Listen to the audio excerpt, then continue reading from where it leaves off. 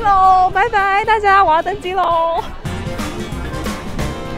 Hello，大家好，欢迎到 YA Diary。我们目前所在的位置呢是在信义成品，这一次呢是要来参加成品二零二三年的理想的文具展。那成品呢，其实大概是每隔两年就会举办一次理想的文具展。今年这一次的主题呢是叫做文具机场，我们可以一起来看一下各个品牌他们会带来什么样子和机场相关的元素。那这一回还有一项很特别的是，因为成品新一店呢在年底就要熄灯了嘛，所以这一回的理想的文具展就会是最后一次在信义成品呈现。那我们就一起来看一下各品牌会带来什么样子的惊喜吧。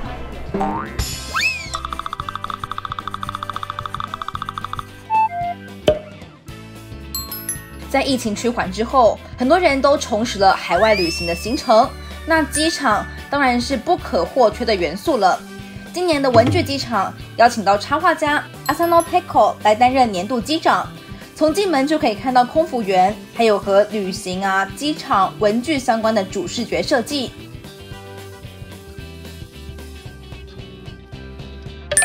现在看到的是文具机场当中的成品航空展区。这里是主视觉设计师 Asano Pico 的联名款，和台湾及日本等知名品牌联名推出了超过六十种的限定商品。最常见的文具有资料夹、笔记本、印章、书签等等。那以最吸引我的品相来看呢，是和奥尔森林好朋友的联名贴纸和纸胶带。这个空服员眼罩啊，我如果买了，可能只会在家里面使用，带出门呢，还是会有一点不好意思啦。那这边还有这一种小钥匙圈。有职位和角色分配，旁边闪闪发光的物件呢，是主视觉的亚克力造型夹，款式是盲抽的。至于拿到什么样的小物，在最后的开箱会揭晓。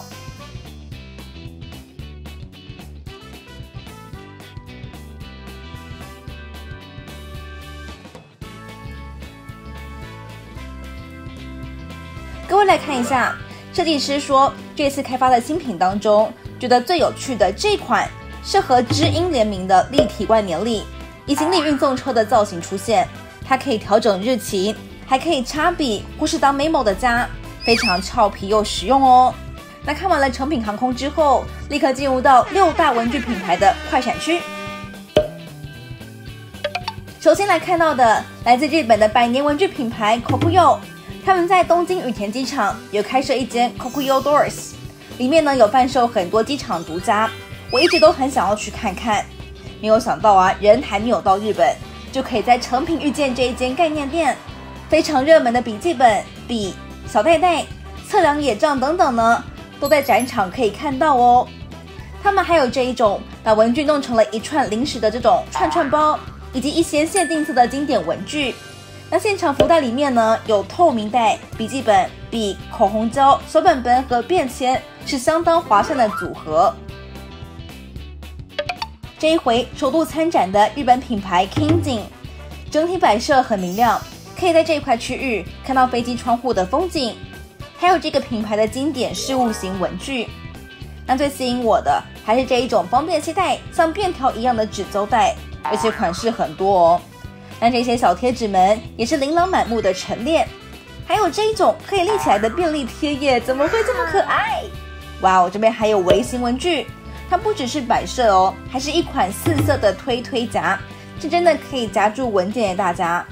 那另外呢，他们家的福袋也真的非常的福，有蓝色提袋、微型文具、文件收纳夹、大张贴纸、纸胶带的拼贴本和贴纸等物品，而且以价格来换算呢，CP 值也是非常的高。我们接着看到了机场的行李转盘。上面陈列了很多笔袋在运送，超级可爱诶，完美呼应了这次的文具机场主题。来看一下转盘上的这些笔袋，里面呢还装了不粘胶的笔型剪刀，各种很棒的花边袋、立可袋、痘痘贴以及富士山橡皮擦也都有哦。挑一组带回家就可以拥有基础的文具套组，相当的活泼缤纷。这次还有看到这一款呢，长条形的笔记本。这样的尺寸很适合放在电脑键盘和你人类的中间使用。打开来看，里面会有淡淡的方格或是明显的方格等选择。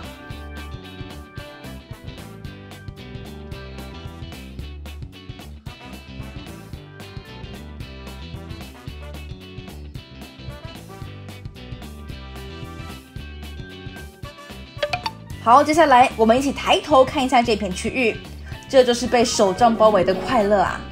一九五零年代成立的 Midori 旗下优质的 MD Paper，今年迎接到第十五周年，所以这一回来台参展呢，把他们和十五位创作者的设计原画全部带来台湾。这一回呈现的本本，远看呢会觉得是一片白色嘛，那近看有很大的玄机哦。这些本本有不同的主题设定，所以你只要帮封面上一点颜色。就可以看到不同设计的差异，是相当细腻的表现方式。而消费者购买之后呢，也可以从上色的不同，让本本进化为不同的风格。那除此之外，各种尺寸的本本搭配了皮革书衣，还有墨水呀、钢笔这些好朋友，让人很想要一把包回家。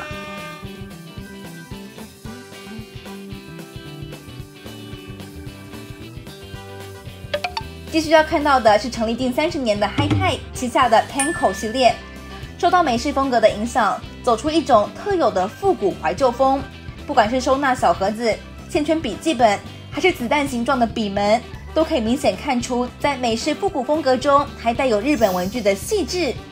已经很久没有拿采访板出门了，可是这个板夹好可爱，收纳袋也是很吸引人的哦，尤其这个小图案。那它们的拉链用起来蛮顺的。内部空间很大，还附带一个网格层，方形设置。如果拿来放在行李箱呢，当成各种物件的收纳区隔，会是很棒的选择。最重要的是，他们这一回带来的新品，就是亮黄还有薄荷绿的限定色文具啦。で、この辺は今回のその理想的文具と浅野ペコさんのテーマに沿った空港や旅行といったテーマに合わせて、えっと。 浅野ペコさんのイラストを載せてこう旅の楽しい雰囲気を演出できるカラフルなアイテムに仕上げています。特別にあの理想的文具のイベント用にあのコラボ商品というかコラボカラーとして作ったこのやっぱミントとイエローの花が注目ポイントだなと思っていて、まあ、なかなかペンコでもやっているカラーリングとは少しまた違ったような今回のオリジナルのカラーとして出しているこの1つというよりもこのシリーズがあの2つコントラスト綺麗に出てる。这些线圈笔记本呢，先前使用的经验，觉得写字蛮顺的，一般的原子笔不容易晕染。拿一个小本本这样子记录，很有专业的侦探或记者的感觉。但至于 Penco 的收纳盒，有很多不同的尺寸，上面呢还有附一张小标签，可以标注收纳的物品，而且尺寸都不一样，不用担心你的物品放不进去。 可以找寻最适合自己的收纳盒大小来使用。那这回的亮黄和薄荷绿限定新色，您喜欢哪一种呢？首度在理想的文具展当中出现的台湾品牌一百代，已经是七十五年的老品牌喽。这一次呢，他们的快闪店物件很丰富，福袋呢是小天使哎，另外还有二十四节气的铅笔和许愿石头笔擦，红蓝印台还变成了小包包。这些年代已久的文具呢？在这次展场当中，被用一个有趣的方式赋予了新生命。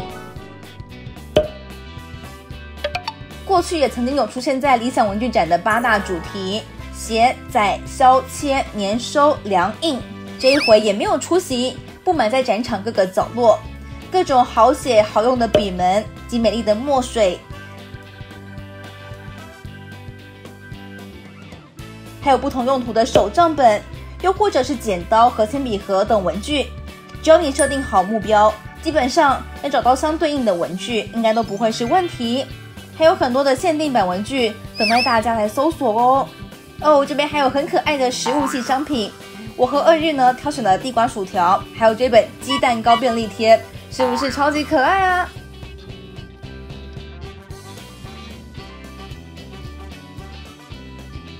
另外呢，我们在印台的陈列处往下看一下，是我们先前介绍过喵大的印章啦。再抬头一看呢，喵大还有 Win 的纸胶带在这里也可以找到哦。他们各自占领了一排，声势非常浩大。那旁边的墙上呢，也贴有循环图的展示。在另外一面墙上呢，还可以看到其他的纸胶带拼贴以及各种品牌的作品。熟悉的感觉啊，让我觉得好安心哦。那这边最特别的纸胶带呢，是自己印和成品以及 SOSO 合作的四款 PET，这细致的排版和内容设计会在最后开箱给各位看看。那不只是纸胶带啊，贴纸也是不可或缺的文具商品。来看一下这面浩大的墙，自己印的方形贴纸也有好几款和 SOSO 联名，当然呢，也是要挑个几张才合理吧。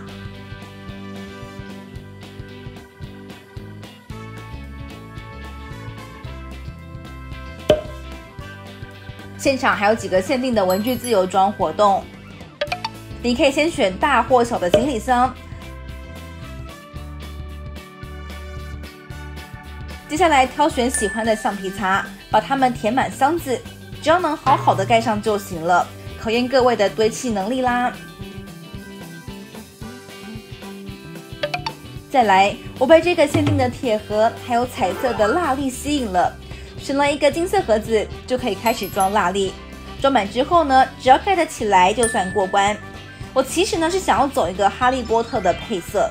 但是装完之后啊，才发现这个想法好像没有什么说服力。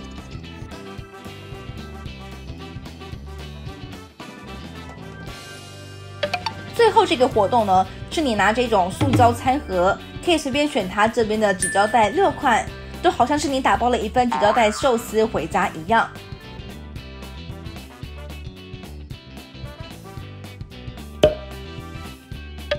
OK。六楼展区逛完喽，来看一下这一次的活动大热门——纪念成品三楼的 SOSO 展区。来自京都的印花品牌 SOSO 今年满二十岁啦。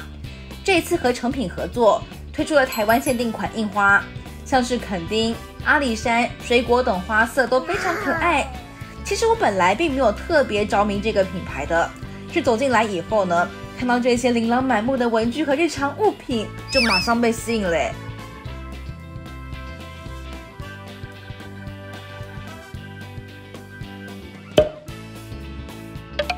最后快速的开箱一波，我虽然只买了一点点，但是朋友们的战力很强大，而且非常好心借我开箱，就有好多的小可爱可以分享给各位看看啦。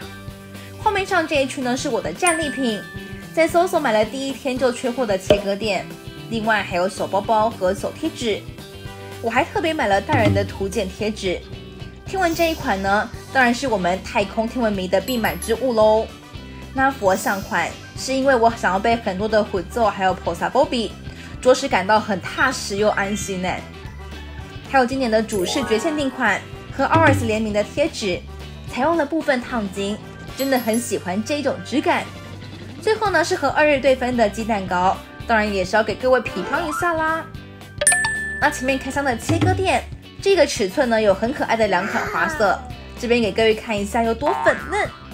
另外呢，还有很多的毛巾、小袜子、小包包、卷尺、资料夹，以及超级厉害的大背包，真的是越看越喜欢，好可怕的魅力耶！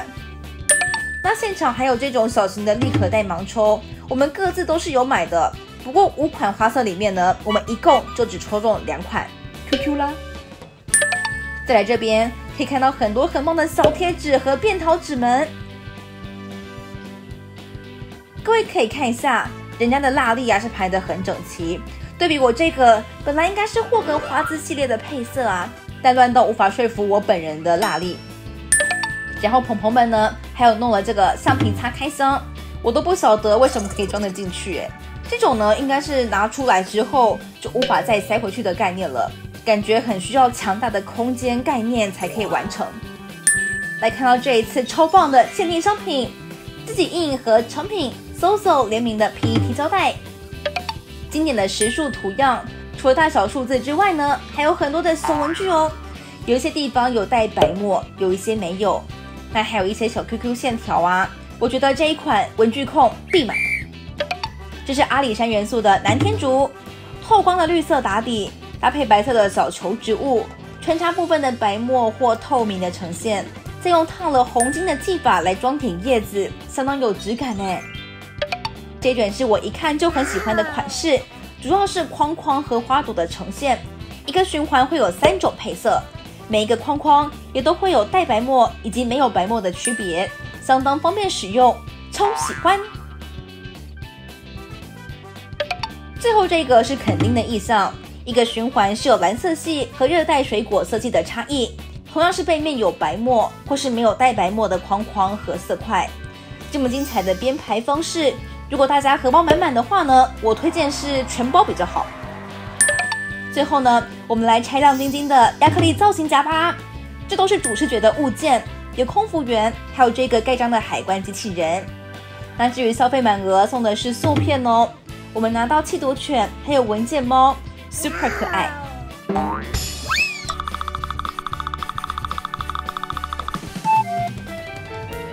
以上呢是这一次在信义成品所举行的二零二三理想的文具展啦，期待各位都可以一起到现场感受文具多元的魅力，一起喜欢文具，也一起喜欢纸胶带，当然也要享受美好的展场活动喽。